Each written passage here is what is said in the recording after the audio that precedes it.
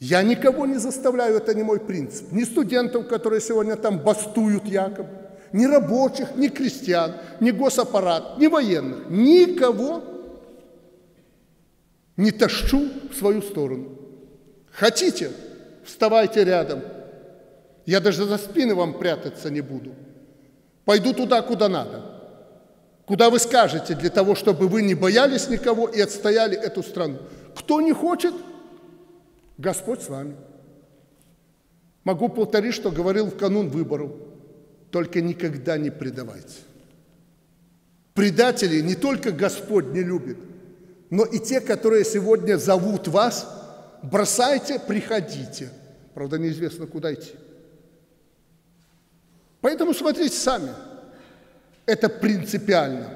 Потому что то, что происходит, это детали – Главное – суверенитет, независимость нашей страны. Где будем мы, а главное – наши дети и внуки завтра.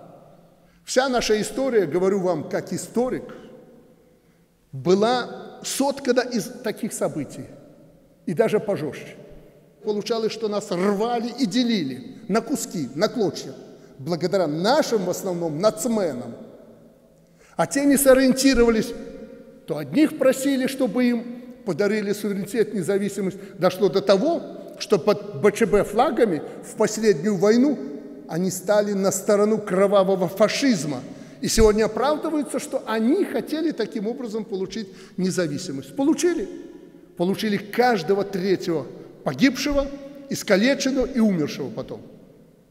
Страна превратила в руины, и они сегодня поднимают этот флаг над головой. Кто они?